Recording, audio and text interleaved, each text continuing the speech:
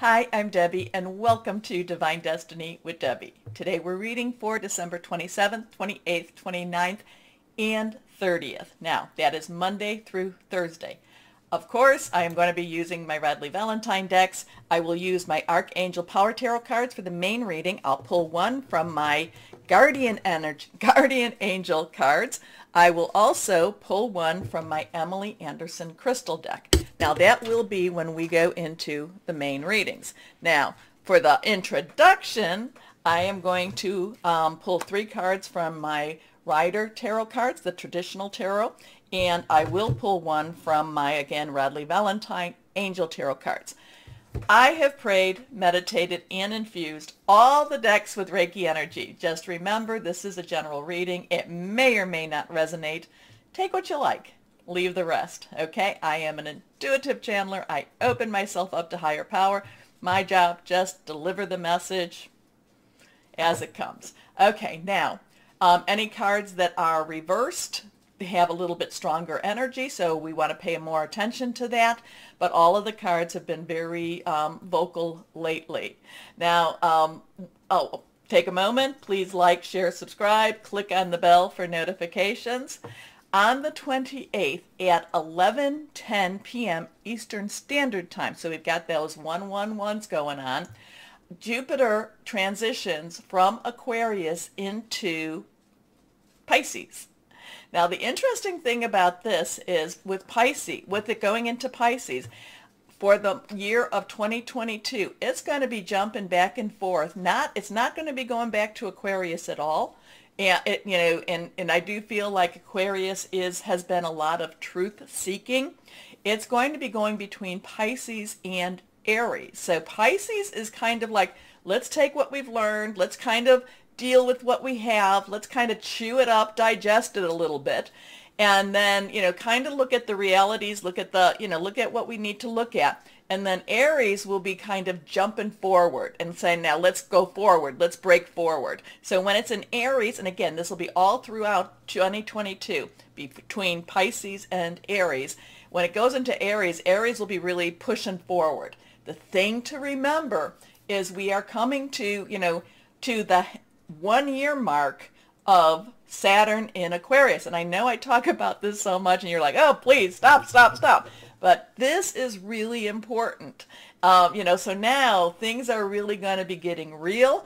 Things are going to be, you know, Aquarius, um, Saturn in Aquarius is all about reality versus illusion and things just get real and Pisces and Jupiter will actually, we will know, we will have some really firm ideas and firm decisions on where and what we want to do with 2022. Okay, so those are going to be some real strong points as we go into 2022. Now, um, the other thing too, I think that January 2nd is the new moon. Now, of course, it will be in Capricorn, so we are in the waning moon. And so we want to really, really release. And then as we get closer to January 2nd, uh, we want to get ready to request because the new moon is the start of new seasons, the start of new, um, just new ventures in, it, in itself. Okay?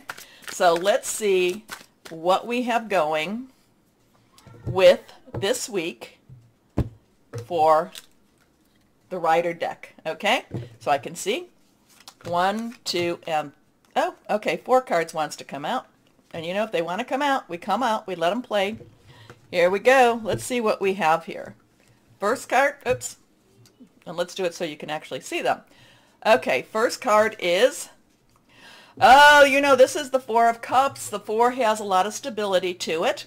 The Cups is our Pisces. It is our Cancer. It is our Scorpio energy. It is very fluid, very emotional. There's also a little bit of stubbornness with this card. I call this the in-between moments. It's kind of like, I'm not really happy with what I've got, but look at, there's a divine intervention. There's something happening. There's something being given. I don't know if I'm not necessarily ready for this or if I just don't want to, I'm just stuck in looking at what I don't want. Okay, so there's a lot of stuck energy. I do call this the in-between card. But fours have stability, it has organization, it has leadership energy, and it's going to be kind of, so, you know, this week is going to be kind of that in between. Well, and we are in between, You know, we're in between some other holidays and our New Year's, but this is just kind of, I'm stuck. But the thing is about this, I really feel like we have some decisions, we have some choices to make. We can stay stuck or we can look to see what the divine, what higher power is giving us or wants to offer us. Our next card here is, now this is the Six of Pentacles. Six has the number of man. It's the energies we put into things. Pentacles is our earth energy. It is our Capricorn. We are in Capricorn now. Taurus and Virgo, money energy. Also, too, you remember Venus is in Capricorn right now, but Venus is retrograde. It's going to stay here for a couple of more months. So there is some relationships. Things don't have to make sense. But this has a strong money energy. This has a strong, you know, supplication energy. This is money coming from unknown sources. So, you know, so we've got this, you know, we're kind of stuck where we're at, or is it that we choose to be stuck, but yet there is a divine, there is a, you know, a something more happening, especially around our money. There could be some um, money being freed up.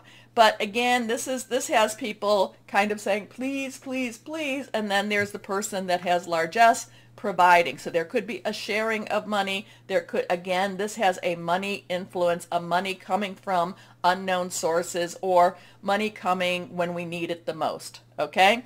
So now we go in here. Ah, now we have that one, that one energy. Now one's new beginning, new starts. This is our way. This is the magician. The magician is one of the major arcana. These are the minor arcana. Major arcana, the magician is one that we have the ability to make things happen.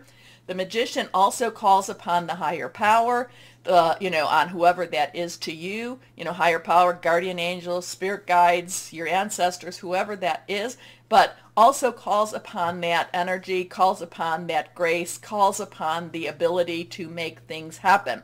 The magician is, it, you know, basically says, you know, I have what I need. Now the magician also has the, um, the rod, which is our Leo, Sagittarius, and Aries energy, uh, fire energy. It has the sword, which is our Aquarius, it's our Libra, it's our Gemini energy, air energy, thought processes, making plans.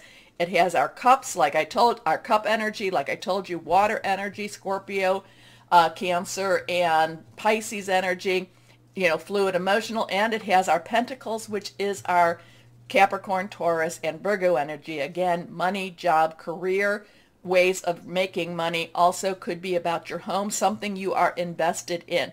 But the, so the magician says that things can happen. Thing, and also I'm looking at the flowers. Things can grow. You have the ability to make changes. Again, you know, trust your higher power deal, you know, ask your higher power for the um, answers. Okay, let's see what this one was. This one wanted to come out. The Knight of Pentacles. So whatever this is going on here, the Knight of Pentacles underlying energy is fire because that's what the Knight has, the passion, the drive, being really driven to do something. But the Pentacles is that earth. And the, now this one, he's not necessarily in motion. He's kind of taken a look at what he wants to do but he's about to get busy. He's about to get busy. He's about to get to work. He's about to do what it is he needs to be doing. Okay? And again, it doesn't matter male or female. We all have, you know, we all have the estrogen. We all have the testosterone. It doesn't matter. It's just get busy now. Again, so we go from this, eh, I don't wanna, to time to get busy. So this weekend, this week we'll have a very interesting energy with that because there's a lot of transition. Something wakes us up here. Something makes us move here. Okay? Now, let's see. We're going to pull one from the Angel, Radleigh Valentine Angel Tarot, tarot cards. And let's see. Let's see. Let's see. Let's see what we've got here now. So, okay. Well, these cards wanted to stay, but also I want to pull this full, this first one out here too. Okay, this card the Four of Earth. Now, so Earth is our pentacle energy. Four, again, has that stability. This is about being too frivolous or too cautious with money, but it also, so it's kind of like a little give and take type of energy here. Good business decisions, giving to those less fortunate, and then we come back to this. So there may be some that are able to share, to provide, to give. Okay, let's see what these two cards have. This one is reversed, and this one's reversed too. Next card is the Four of Air. So we're getting a lot of this Four energy right now. We have Earth, Air, and we do have our, our Cups energy. This is take a break. Take a break.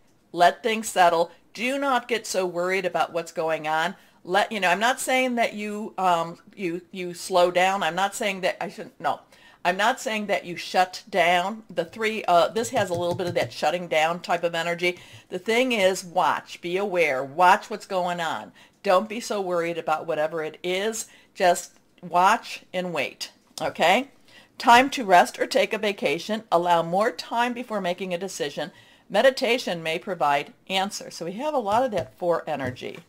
Okay, next, last card is the King of Fire. So King's underlying energy is air. Okay, thought really knows his business, knows what needs to be done. Again, we have that fire energy. The king of fire looks at the big picture and actually, you know, has passion, is involved, the, um, you know, is involved with what's going on, but yet at the same time knows when to shut up, knows when to talk, knows when to deal with what needs to be dealt with, but doesn't get mired in the dirt, does not get mired in the small stuff sees how things are larger, looks at the past, looks at the future, looks at the present also. So there we've got a lot of a lot of energies here. There's that all those four energies. There's a lot of just kind of wait, watch, see. You know, there's a lot of reciprocity with the four.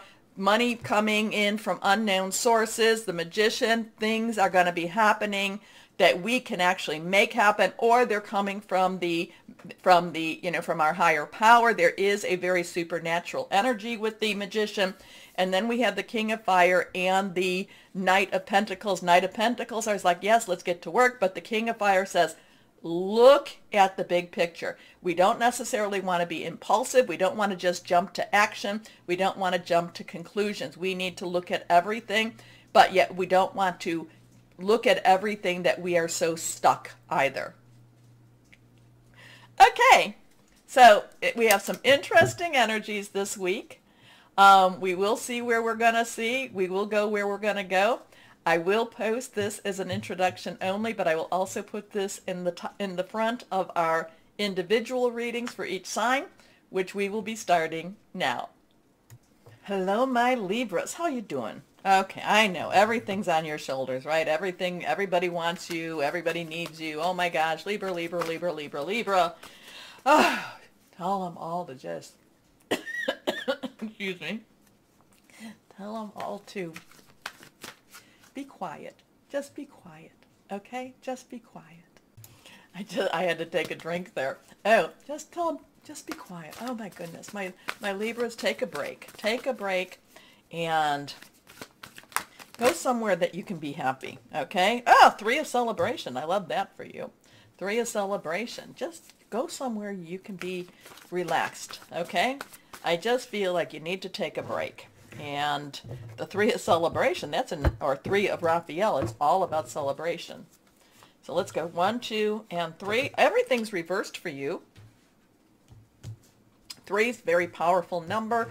The power of three means, you know, you do something, say something three times, you put it out there. It just feels like, you know, again, I'm just feeling like a lot on your shoulders, a lot happening, and you just kind of breaking free from it all. Just breaking free from it all. I don't know what ha- what happens per se with it, but some there's a sh- there's a shift, there's a change, something that you're kind of like, it's a, it takes you a little bit aback. It's kind of like I didn't expect it. Higher power, thank you very much and you know and just kind of i just feel like there's a freedom here and i just feel like there's also a time for you to just have a breath um, you know take some air in and again celebration. So raphael is our water energy and i talked about all the energies in the beginning in the introduction. Cancer pisces scorpio and again celebration time. Just i just feel like there's a break in the stress okay? Reasons to celebrate a community of friends, happy announcements regarding relationships or children. Next card reversed again. Strength. So we have a three, one, one. Ones, new beginnings, new starts. Tens, transition. Again, new beginnings. Add them together. Two. One plus one is two. Choices. Part, partnerships, choices. Strength is Archangel Ariel. Um, this is, I don't know if this is that you need to have strength during this time or for you to know that you do have the strength or for you to know that there is strength through your higher power, that you need to connect with your angels, your guardian angels, and they will provide what you need. There's also strength in love. There's strength in caring, okay?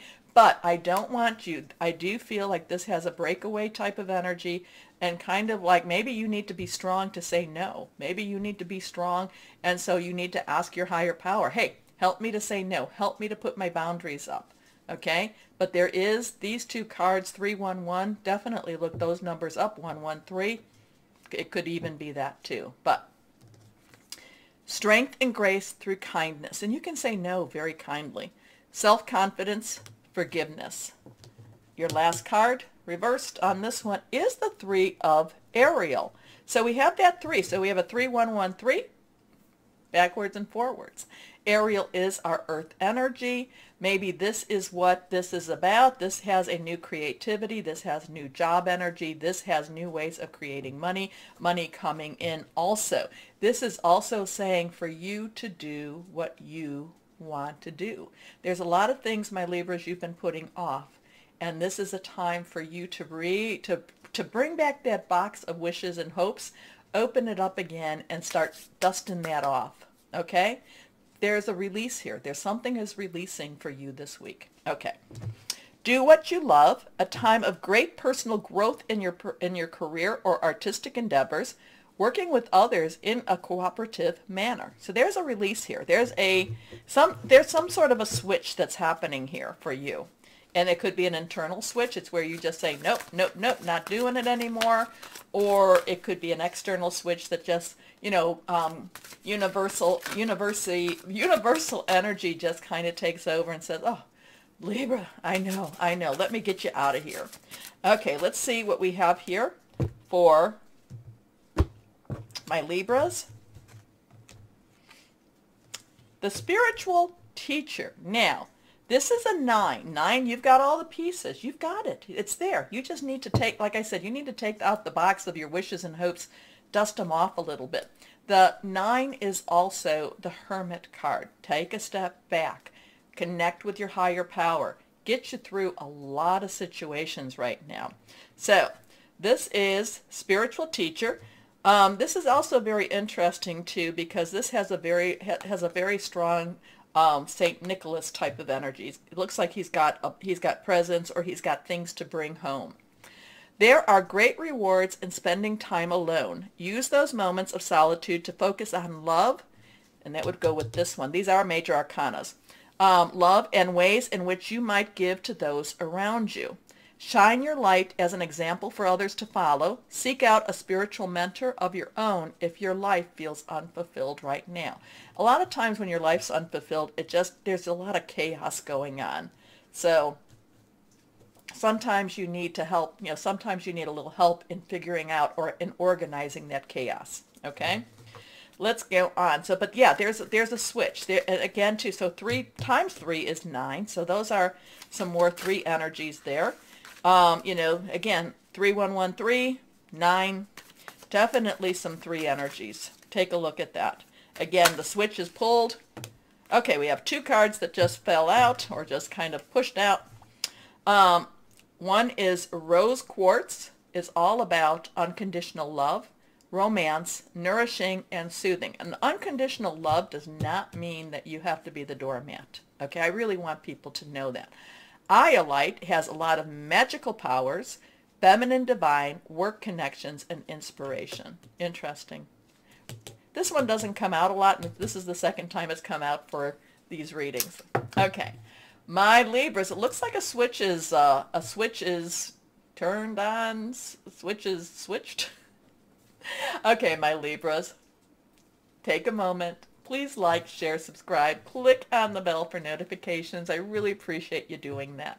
Most importantly, always know that you are loved. Stay shining and be blessed. Bye-bye.